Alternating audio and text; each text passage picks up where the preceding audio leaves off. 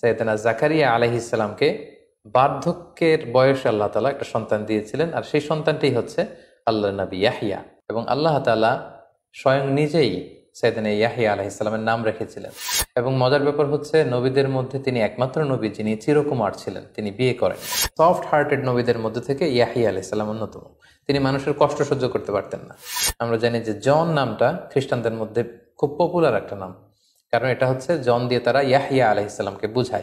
এবং আমরা যত ক্রিশ্চিয়ান ব্যাপটিস্ট মিশনারির নাম শুনে থাকি, তাদের ভাষ্য মতে according to the doctrine of Christianity তারা ইয়াহিয়া আলহিসাল্লাম তার বাণী প্রচার করে এবং তার দ্বারা উদ্বুদ্ধ হয়ে তার যে মমতা, ভালোবাসা মানুষের মধ্যে ছড়িয়ে দেওয়ার এই যে আদর্শ, এটাকে তারা প্রচার করতে চায়।